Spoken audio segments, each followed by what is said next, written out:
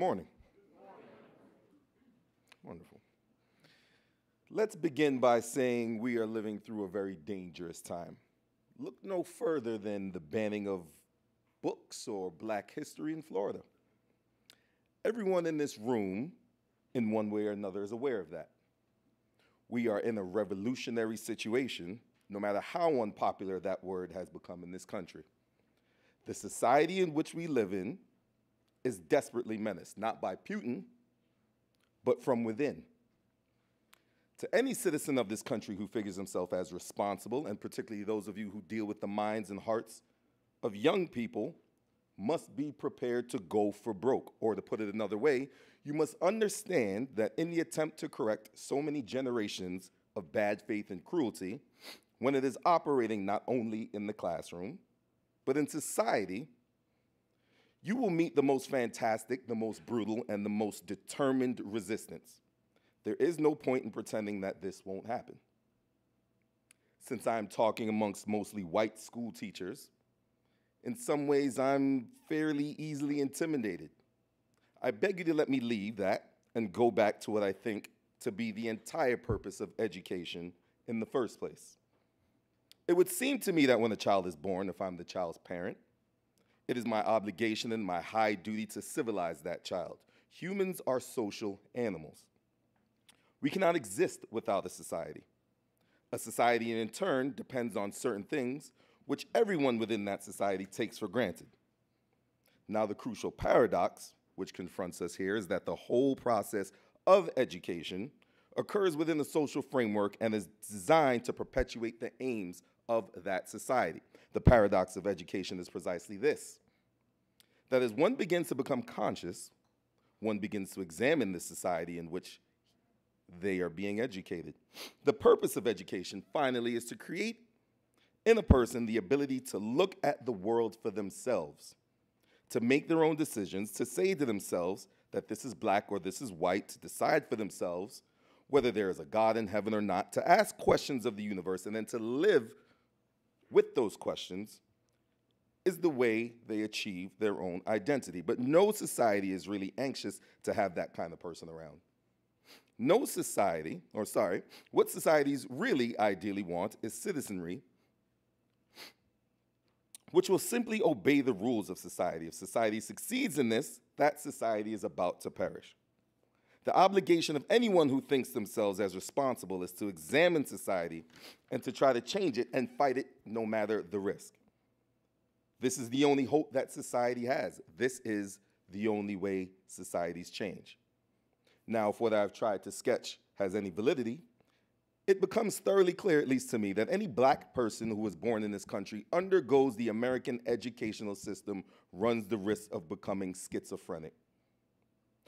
On the one hand, he is born in the shadows of stars and stripes, and he is assured it represents a nation which has never lost a war. He pledges allegiance to that flag, which guarantees liberty and justice for all. He is part of a country which anyone can become president and so on and so forth. But on the other hand, he is also assured by his country and by his countrymen that he has never contributed anything to civilization. And that past has nothing more than the record of humiliations gladly endured. Pardon me. I need a tissue. A tissue oh, right here. Thank you kindly. Appreciate you.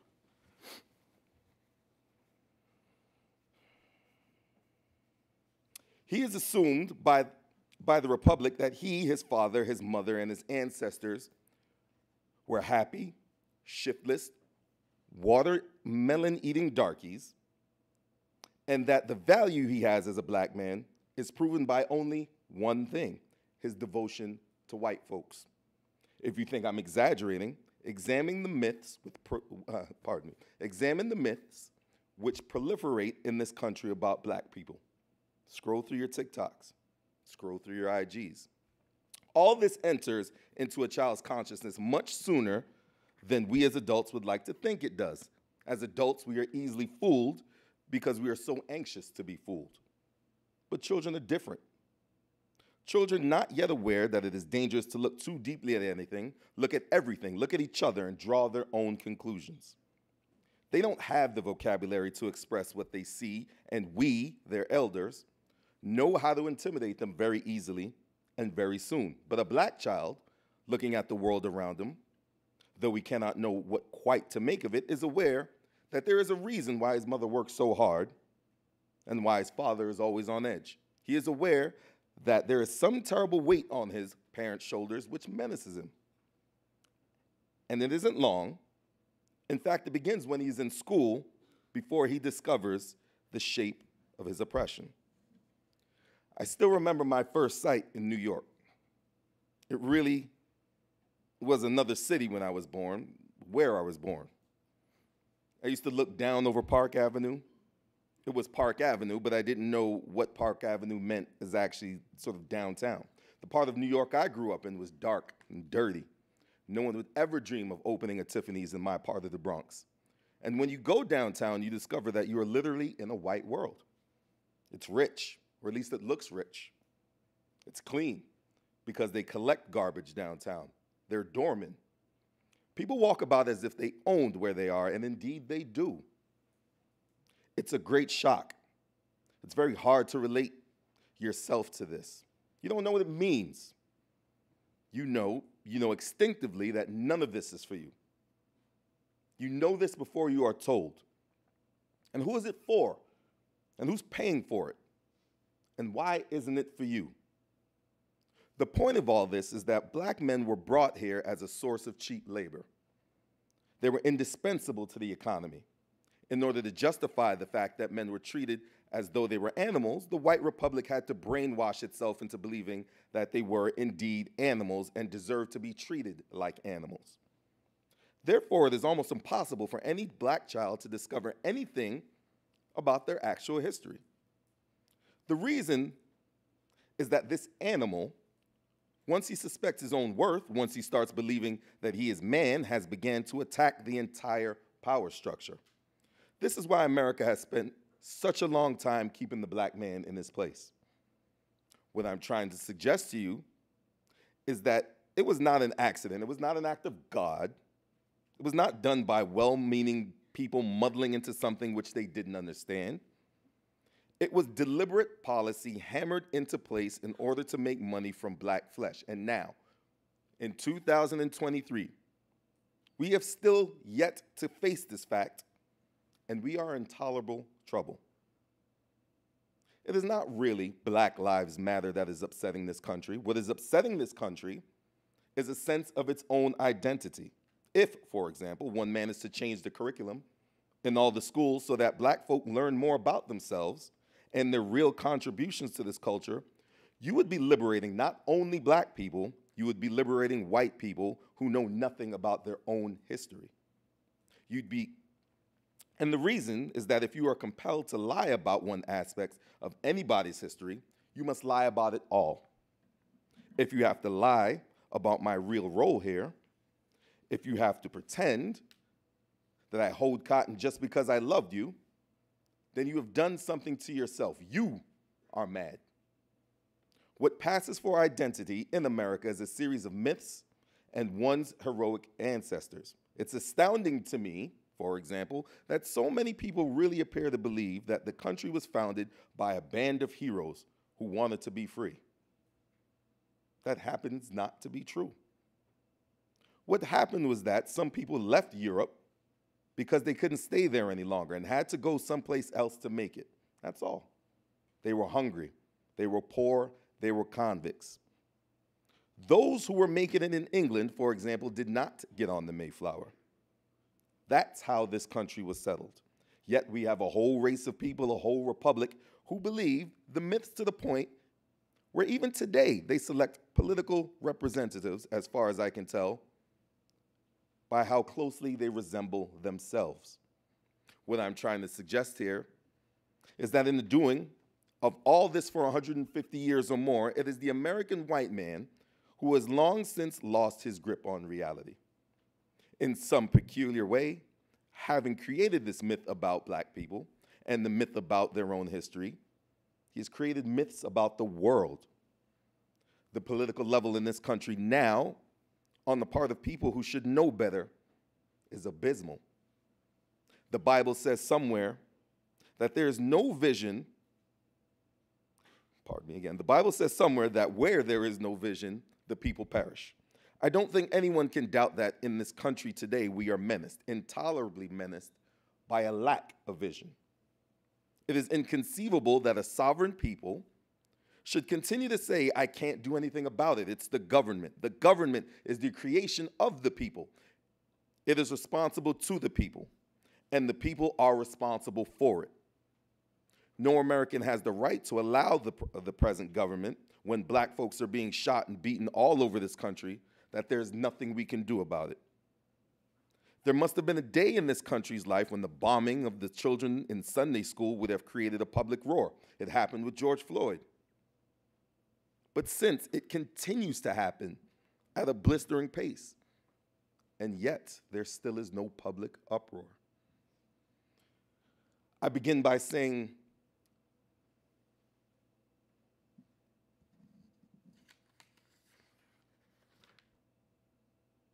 Give me one second, sorry.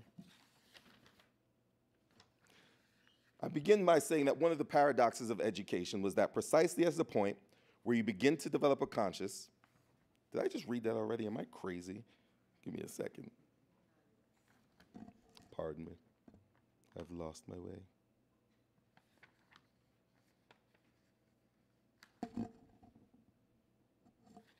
I'm good. Thank you.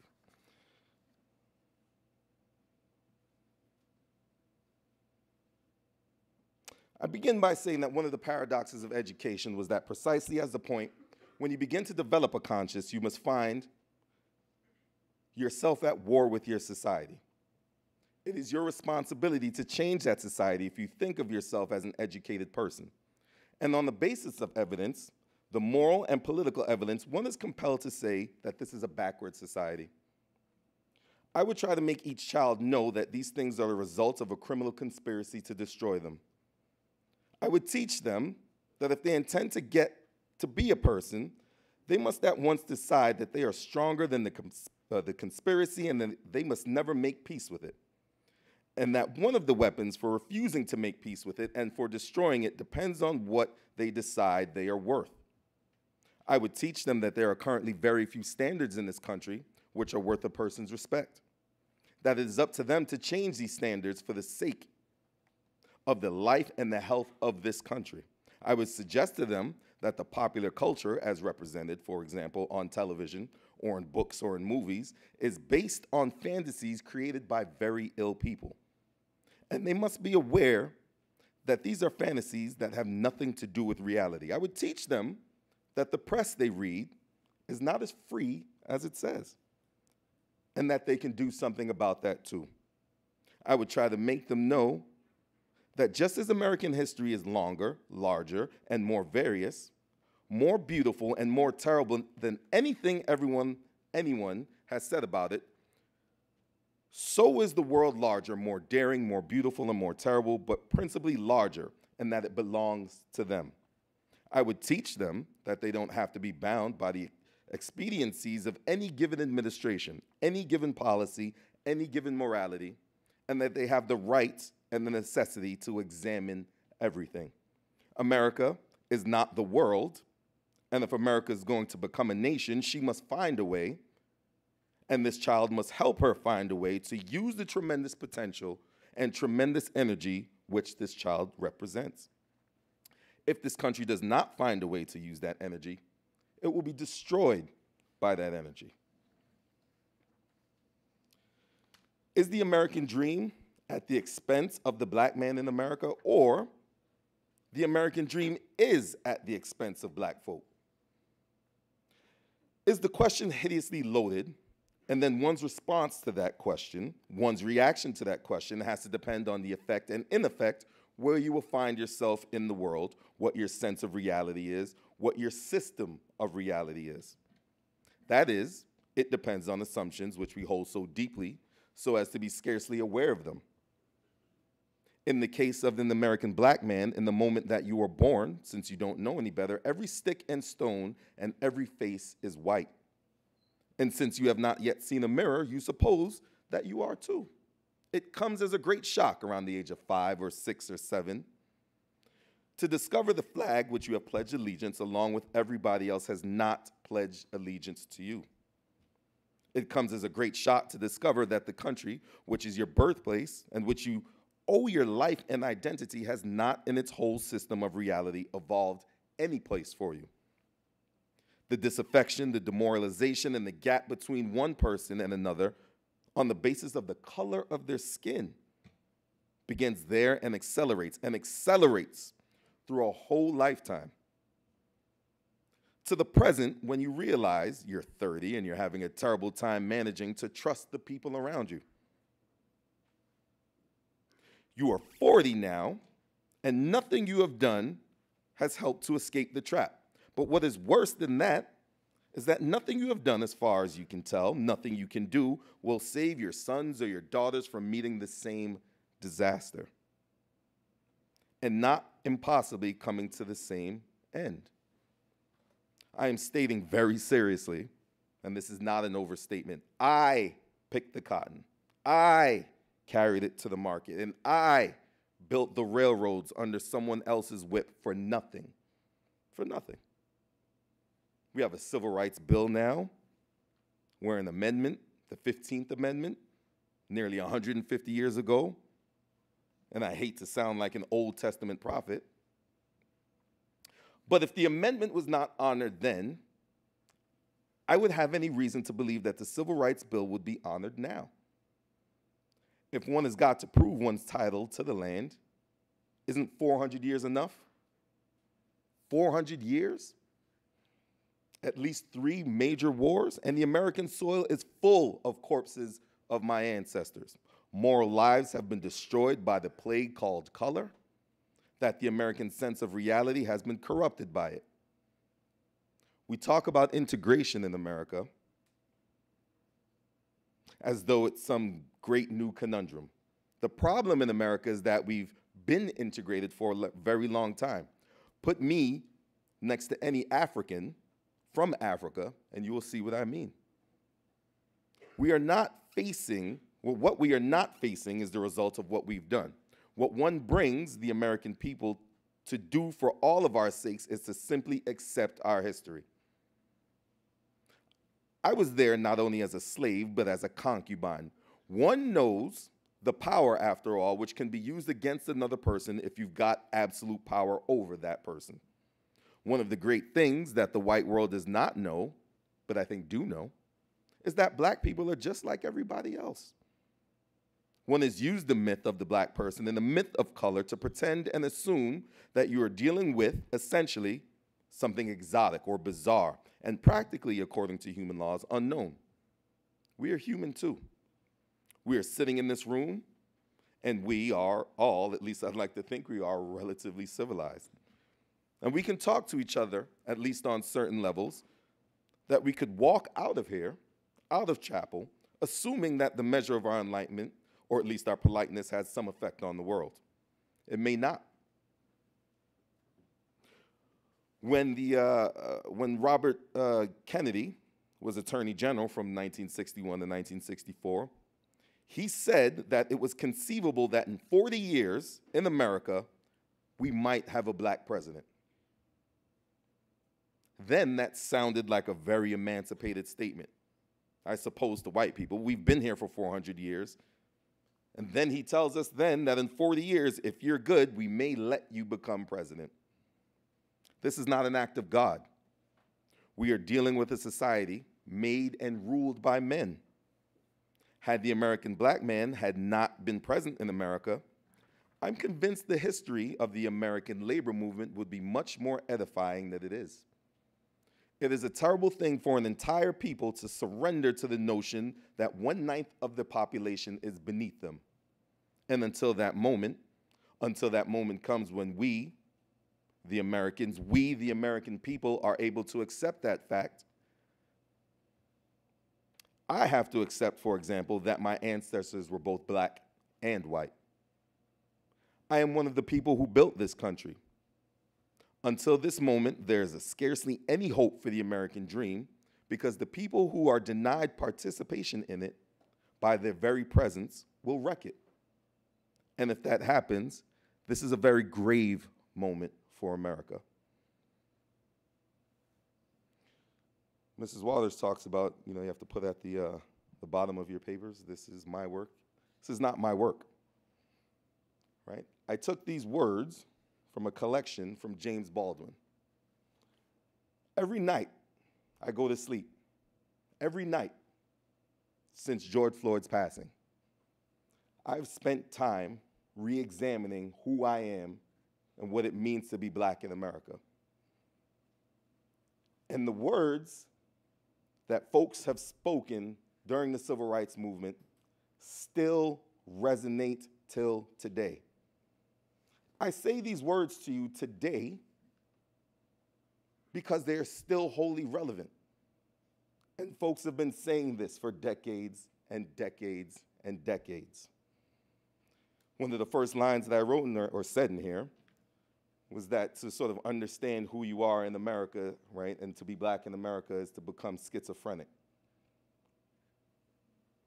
The more and more that I learn about who I am and what this country means and my position in it, drives me a little bit more crazy every day. Because folks have been saying the same stuff, using these same words then and now, and still yet, it seems like nothing has changed. Or at least change is very, very slow. I combined James Baldwin's pin drop speech, uh, which he used uh, in 1965 at a Cambridge University debate, um, and also uh, another speech he had called A Talk to Teachers um, uh, that he spoke to teachers at Columbia University in New York City. This James Baldwin quote, and I will leave you this, will always resonate with me every day. And he said, To be a Negro in this country and to be relatively conscious is to be in a state of rage almost all the time. For those of you that have known me for my long duration here, I was a, more of a jovial, happier, smilier kind of guy. To know what I know about this country and where we've come from sort of sticks with me. And every day that we don't change, I become a little bit more anxious and a little bit more rageful. Thank you.